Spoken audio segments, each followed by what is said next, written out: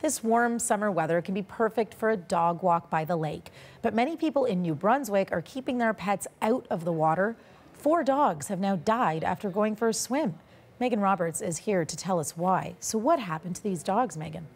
Well, we know the cause of death for three of the dogs, Reshmi, and it is suspected that the fourth dog also died in the same way, and that was contact to blue-green algae blooms. Let's take a look at these four dogs. So you can see Suki, Peekaboo, and Nike. We know that those three dogs died days apart after playing in the St. John River in Fredericton, and they were confirmed by the provincial veterinarian to have died after consuming the blue-green algae. Now, if you see Layla on the far right there, she died after playing in the Kennebecasis River in Somerville, and her family says she spent just a few minutes in the water.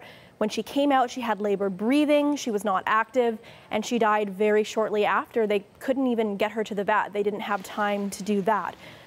Her family suspects that she also came into contact with blue-green algae, but this just happened, so that's not confirmed yet. They did say that they agreed to let the province examine Layla to see if blue-green algae was in fact the cause of her death, Reshmi.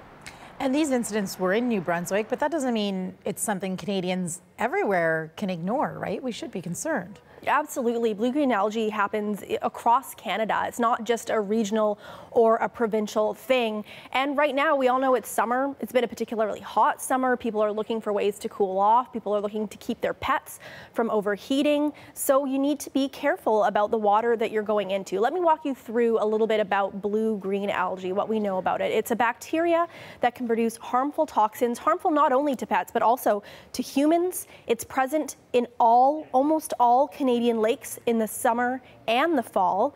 It's not something that's normally visible, but it can appear as a soup-like layer like you see on the right side of your screen there. We know it grows in areas with certain nutrients or polluted runoff, and it can also bloom in particularly high temperatures like we've been seeing across Canada.